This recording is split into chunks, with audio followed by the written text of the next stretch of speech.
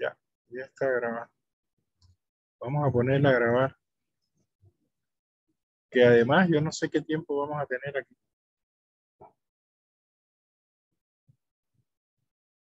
Porque e- el Zoom son 45 minutos.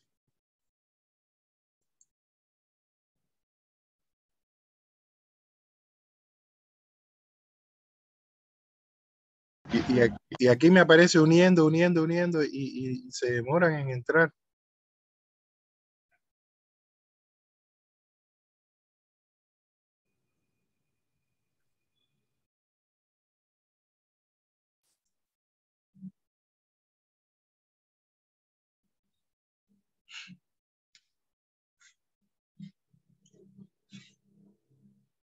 Bueno, eh, según la información de, Venancio que ustedes vieron que les pasé, eh, es una actualización de Zoom la que está dando ese, ese problema.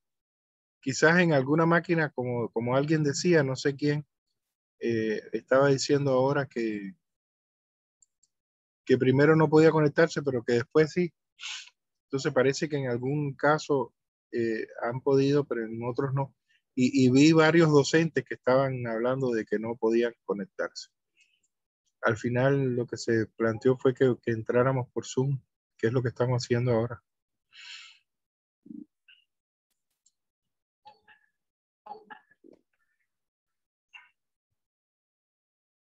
Y yo tengo otra clase después.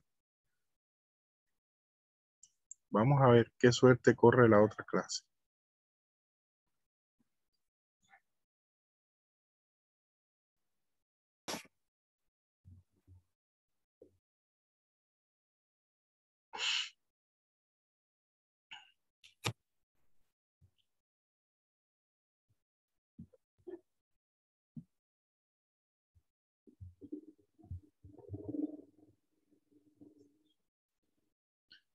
A ver qué suerte corre la otra clase.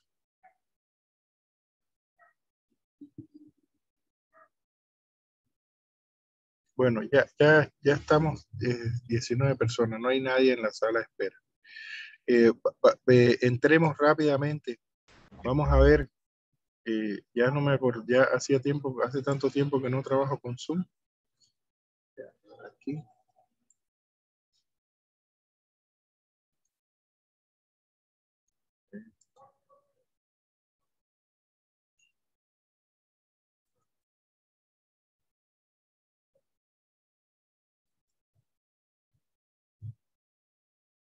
Muy bien. Bueno, miren, eh, quería revisar esto. ¿Están viendo la pantalla?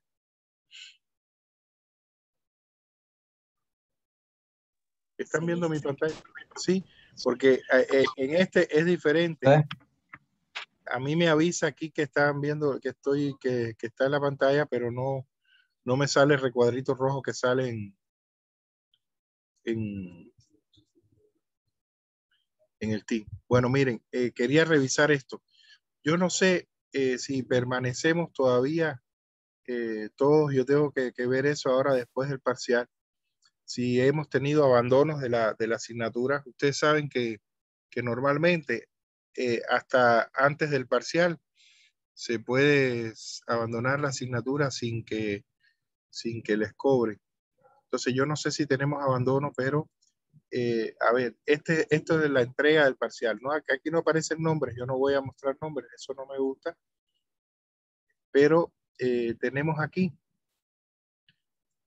tenemos aquí eh, de 32 eh, personas, 26 han entregado solamente, ¿no? Faltan 6, faltarían 6. Entonces no sé si estos 6 eh, son estudiantes que han abandonado o eh, son eh, estudiantes que no han entregado. Entonces, lo que les digo es, esta, estas seis personas, yo no quiero tener que comunicarme en privado con ellos, porque además yo te- tengo realmente muchas cosas. E- Esto debe ser muchas ocupaciones, varios grupos, cinco grupos más el del de diplomado. Eh, estoy calificando todo eso. Entonces, eh, debe ser eh, preocupación de ellos. Si han tenido algún problema, comuníquense conmigo. Yo sé que yo les dije que no iba a dar más plazo, pero comuníquense conmigo y vamos a analizar la situación de cada uno de, esta, de estas seis personas que no han entregado. Tenemos 26 perfiles entregados. Perfecto. Entonces, eso es lo que quería ver si ya saben, si alguien tiene algún problema, alguna situación, comuníquese conmigo y vamos a ver cómo resolvemos eso. Pero lo que yo sí creo que no tiene sentido es que pierdan la, asignatura, ¿no? O que pierdan los puntos, no tiene sentido. Recuérdense que los parciales es el 30% de, de, la nota.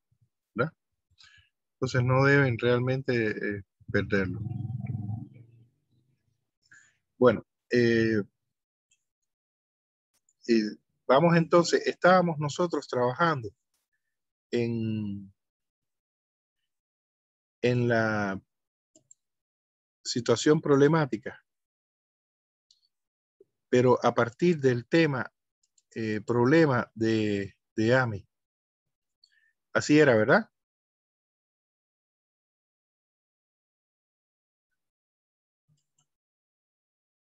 Hola. Mm, Estábamos haciendo la justificación, dicen, creo. Perdón, sí, sí, disculpa. Yo dije situación problemática. La justificación en el tema de, de AMI. Entonces vamos a, a ir ahí. Vamos a disminuir aquí.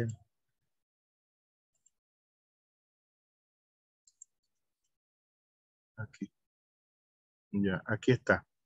Eh, bueno, objetivos específicos, su delimitación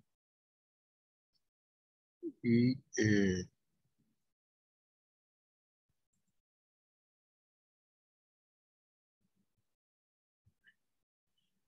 la justificación.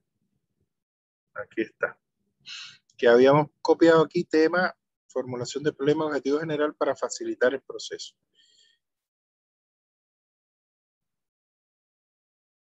Y, aquí eh, es interesante. Vamos a ver un, un, texto que en cierto modo resume todo esto que habíamos visto, porque aquí habíamos puesto, continuaremos la próxima clase. Eh, ¿Pudieron ver algún ejemplo de inteligencia artificial, de ajedrez, música, procesos empresariales, demás? ¿Pudieron ver algún ejemplo?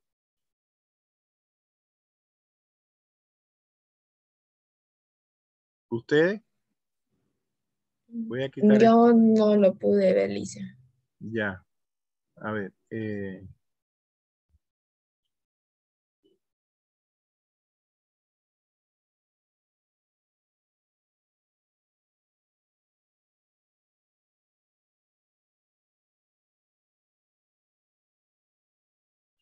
Muy bien.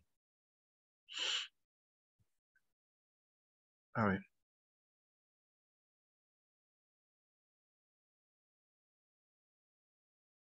Déjenme abrir este un documento en PDF que yo seleccioné para esto.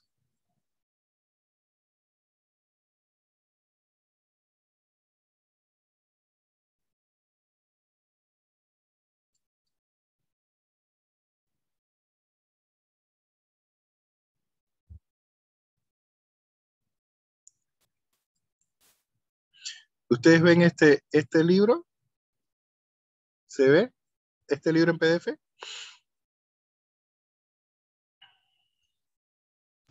Se ve el Word, Lisa. Ah, el web. A ver, pero se ve el, el, a ver, déjenme salir de aquí entonces. Pero a mí me parece compartiendo pantalla. Ustedes ven aquí Yuval Noah Harari, 21 lecciones para el siglo XXI, ¿lo ven?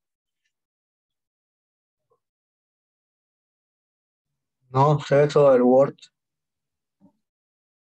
Ya. Se ve el Word de, de la justificación, ¿no? Es lo que se ve. Sí, eso.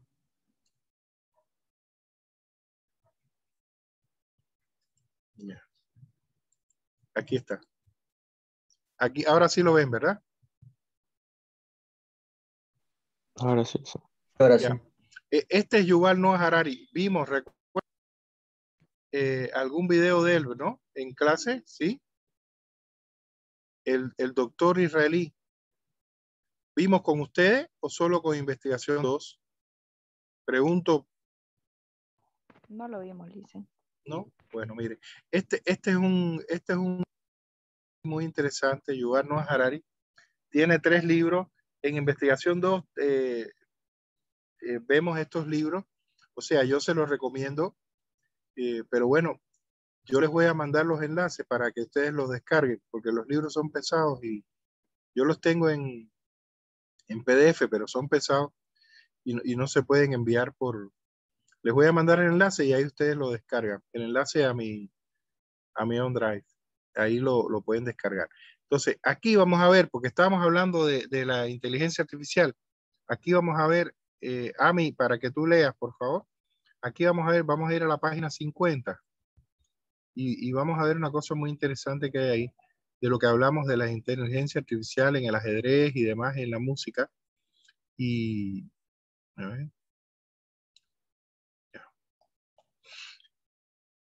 Aquí, miren, eh, está marcado.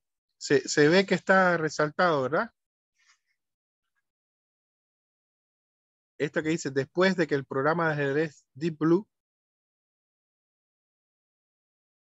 Hola. Sí, Lice. Ya. Bueno, miren. Eh, eh, IBM, eh, a finales de, lo, de, los, de los años 90 y a finales del siglo XX, eh, creó una computadora eh, preparada para jugar ajedrez. Entonces, eso fue una gran sensación. En el momento aquel, el campeón mundial de ajedrez era Garry Kasparov. Eh, un ruso eh, nacionalizado eh, francés. O sea, él no era ruso, pertenecía a, una, Georgia, una de las antiguas repúblicas de la Unión Soviética. Y después se, nacionalizó francés, Garry Kasparov. Entonces, era un ajedrecista extraordinario desde niño, como casi todos los ajedrecistas, y, tremendamente sólido en su juego protagonizó una con un ruso que se llamaba, eh, a ver, Karpov, Anatoly Karpov, y, y fue incluso tremendo. En, en, uno de los campeonatos tuvo que, la primera vez que se enfrentaron, tuvieron que parar porque se extendió tablas, tablas, tablas, hacían tablas y, y ninguno de los dos ganaba. Y entonces tuvieron que parar y después seguir. Al final, Casparo ganó el campeonato y, entonces, eh, este se consideraba en ese momento, y todavía se considera uno de los mejores ajedrecistas de la historia de, del ajedrez.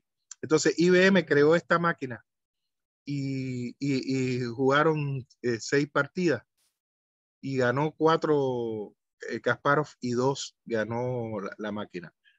Al final, bueno, ganó Kasparov, pero después Después IBM volvió a crear otra máquina a partir de esa experiencia y, aquí pasó una cosa tremendamente interesante porque estaban empatados y en la última partida ganó la máquina y al final, eh, bueno, pues la máquina lo venció y ahí comenzó esta historia de las computadoras y la inteligencia artificial jugando ajedrez que ha tenido una escalada tremenda. Van a ver ustedes después, ahora cuando avancemos en la lectura, eh, qué es lo que ha pasado en este sentido.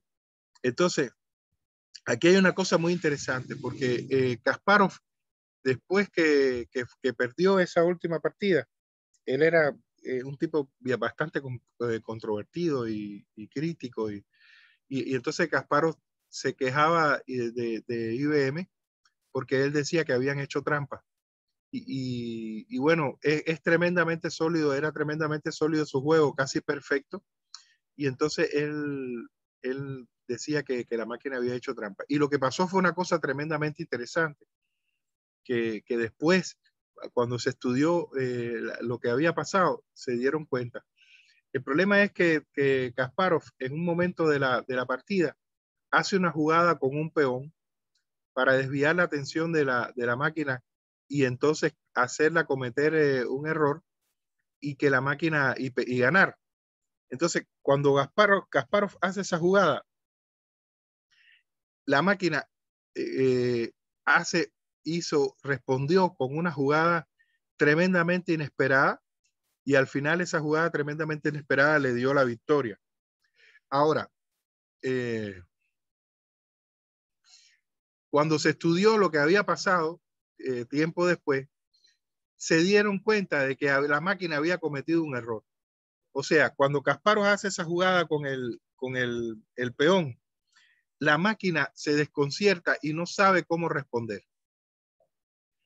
Entonces, en ese, en esa, en ese desconcierto de, de, la máquina de no saber cómo responder, tuvo una respuesta aleatoria y esa respuesta, que fue un error, producto de un error, porque ella no sabía cómo responder, no sabía qué hacer, e hizo eso, eh, que, que, sorprendió a, a, Kasparov, hizo que, que, que ganara el error que, que, la máquina cometió. Interesantísimo, ¿no? Porque decían, bueno, los errores son de los humanos, las máquinas no cometen errores. Sin embargo, ahí pasó eso. Y por eso esto, la máquina ganó, porque cometió un error al no poder eh, entender qué es lo que había, la jugada que había hecho eh, Gary Caspar. Bueno, les he eh, introducido esto. Está en internet, ustedes pueden buscarlo. he hecho la introducción sobre, el, sobre este tema. Y aquí entonces vamos a leer. ¿Tú ves bien, Ami, para poder leer lo que está resaltado? Sí, Lice, se ve. Vamos, por favor, entonces eh, leamos. Después de que el programa de ajedrez, ya. Después de que el programa de ajedrez Deep Blue de IBM derrotara a Gary Kasparov en 1997, los humanos no dejaron de jugar eh, al ajedrez. En cambio, gracias a la inteligencia artificial, entrenadoras, los maestros de ajedrez humanos se hicieron mejores que nunca y al menos durante un tiempo. Equipos de humanos inteligencia artificial, conocido como centauros, ganaron tanto a humanos como a ordenadores al ajedrez. De manera parecida, la inteligencia artificial podría ayudar a preparar a los mejores detectives, banqueros y soldados de la historia. Claro, porque es que la inteligencia artificial, usted le proporciona una cantidad determinada de datos y ella es capaz de procesar eso con una rapidez tremenda, pero además procesar infinita cantidad de datos y entonces empezar lógicamente a responder a partir de todo ese procesamiento de datos. ¿Qué quiere decir? Por ejemplo, las, las inteligencias artificiales médicas que, están funcionando ya son capaces de, procesar toda, toda la historia de la medicina y, y los diagnósticos y demás en una, en, un, en una, con una rapidez extraordinaria. Entonces, cuando usted mete eh, la información sobre síntomas de una enfermedad, la respuesta es eh, rapidísima, porque tienen eh, más posibilidades de procesar datos y de sistematizar todo eso y responder que el, el cerebro humano. Entonces, ahora miren, vamos a, a seguir, en esto del, del ajedrez. A ver, ya, aquí, ¿lo ves? Una mirada más atenta. Sí. Vamos para allá. Ya. Una mirada más atenta al mundo de ajedrez podría indicar hacia dónde irán las cosas a largo plazo. Es cierto que durante varios años después de que Deep Blue venciera a Kasparov, la cooperación humano-ordenador floreció en el ajedrez, pero en los últimos años los ordenadores son tan buenos jugadores de ajedrez que sus colaboradores humanos han perdido su valor y, pronto podrían ser de todo punto irrelevantes. El 7 de diciembre de 2017 se alcanzó un hito crítico, no cuando un ordenador ganó a un humano al ajedrez. Esto ya no es noticia, sino cuando el programa AlphaZero de Google derrotó al programa Stockfish 8. Stockfish Fish 8 fue el campeón mundial de ajedrez en 2016. Tenía acceso a siglos de experiencia humana acumulada en ajedrez, así como a décadas de experiencia de ordenador. Podía calcular... Espera, un momentito que se me fue. O es que alguien me habló aquí en el... Y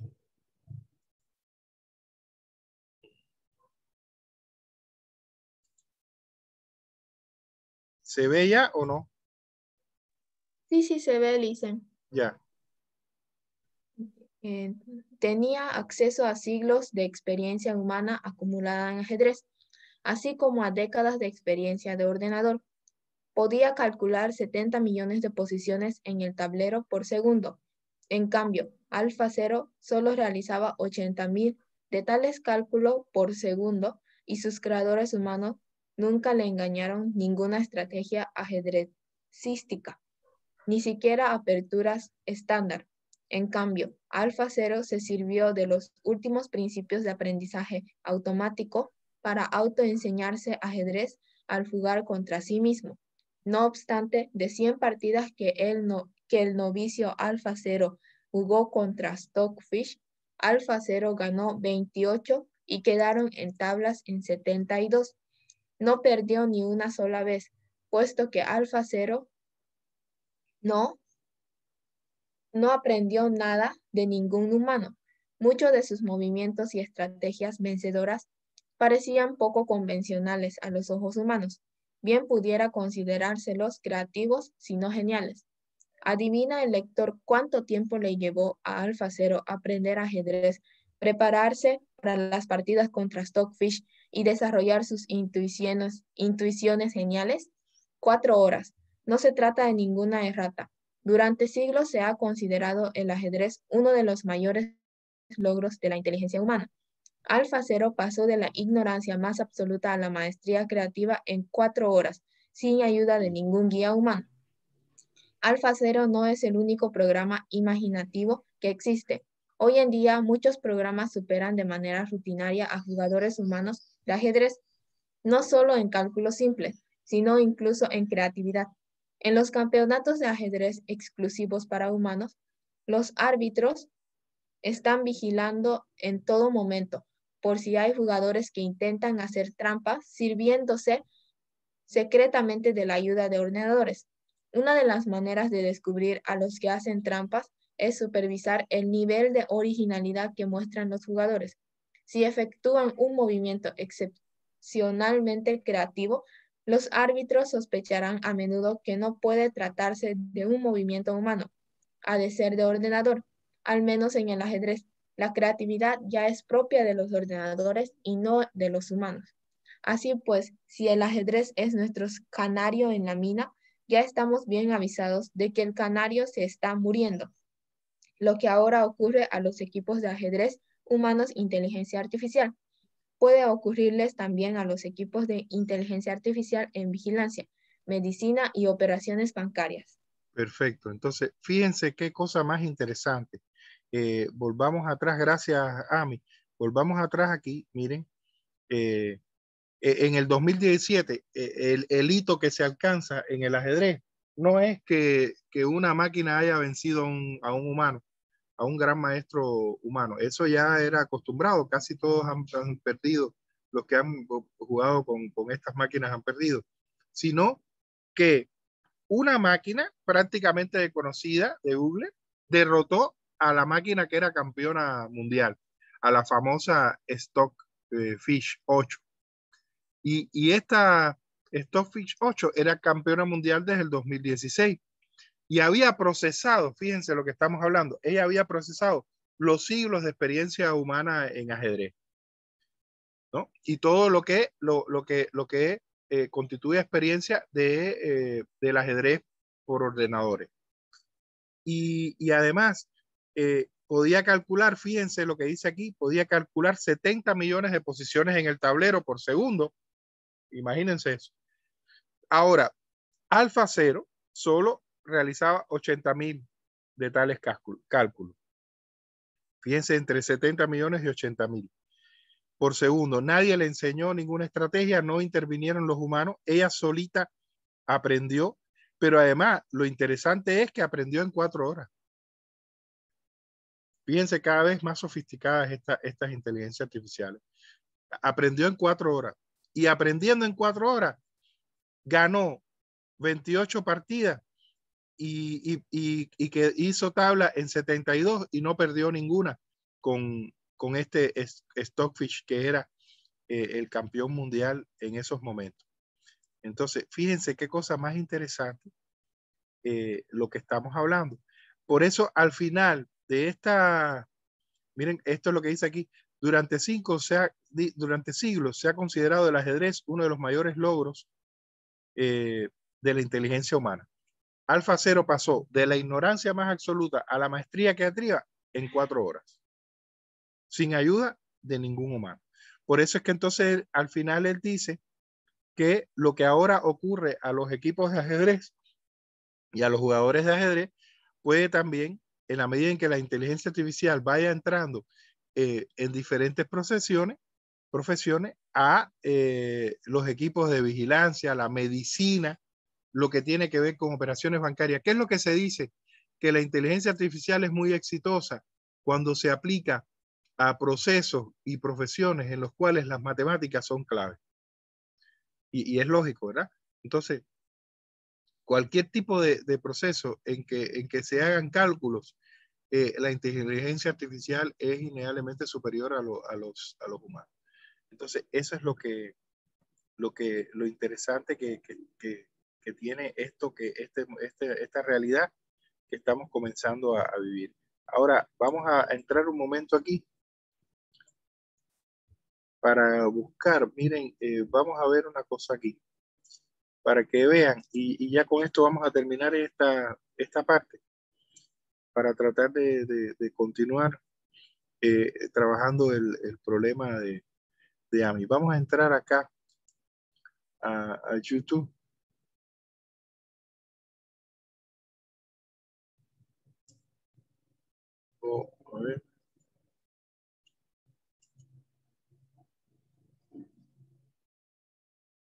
Uy, nos está diciendo que nos quedan eh, 10 minutos.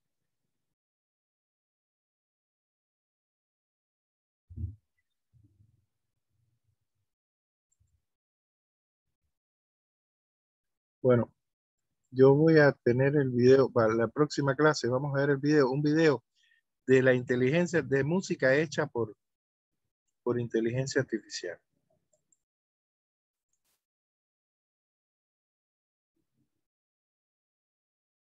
Un momentito que tengo un problema ahora con la, con la energía.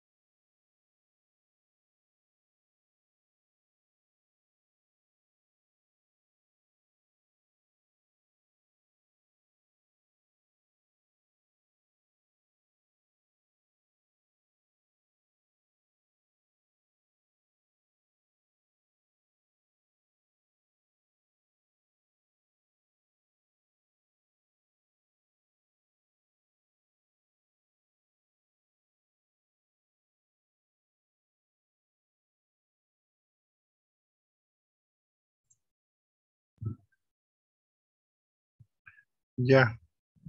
A ver, para que entonces, bueno, por lo menos eh, esta, esto que íbamos a ver de la, de la inteligencia artificial la podamos, la podamos ver. Eh, ¿Se ve la pantalla? Hola. Sí, licenciado. ¿Se ve? Ya, bueno, aquí tienen varias, varias, varias piezas hechas por inteligencia artificial. Esta, esta, por ejemplo, no he podido encontrar una de la que habla él, eh, de la que habla eh, eh, Yuval Noah Harari en, en su libro de, de, una inteligencia artificial que hace música eh, clásica, que empezó haciendo música clásica al estilo de Bach y que, y que después ha hecho eh, otras, otras ya piezas muy interesantes. Miren, e, esta es estilo los, los Beatles.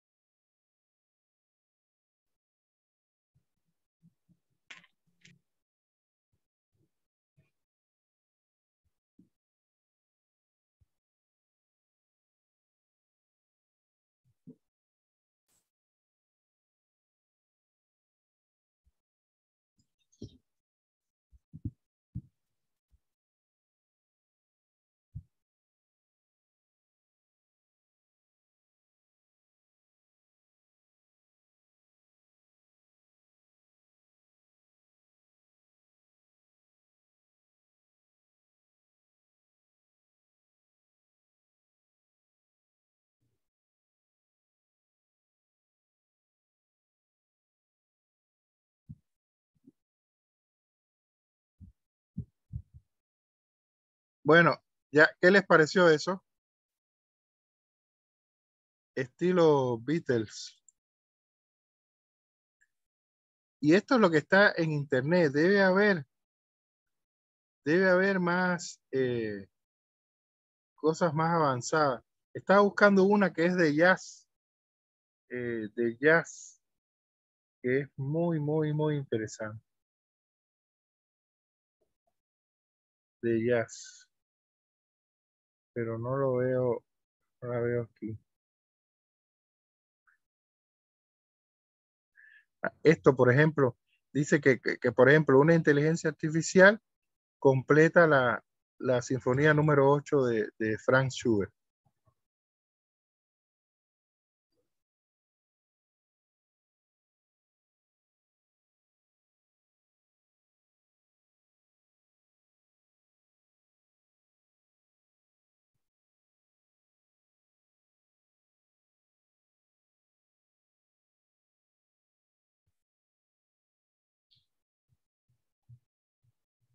O sea, la inteligencia artificial, fíjense, completó la, la, la sinfonía que Franz Schubert no, no terminó. Fíjense qué, qué interesante, qué interesante esto.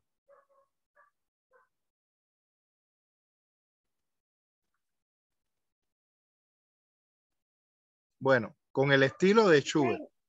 Puedo escuchar, disculpen. Ah, ya, claro, no se puede, disculpen, es que hay que, es que tenemos que, para compartir la pantalla tenemos que, que poner el audio. Ya, ya yo estoy compartir sonido, ¿eh? Ahora sí. A ver ahora.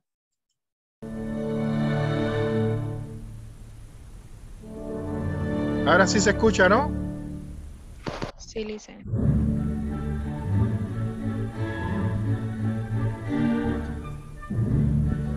Bueno, eh, ya se va a acabar el tiempo. Por lo menos salvamos algo, pudimos ver la, pudimos ver, eh, hablar de este, de este tema.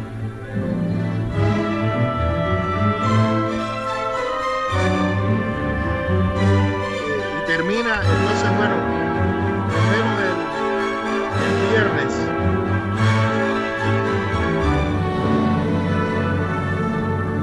Nos vemos el viernes. Cuando se acabe la, la clase.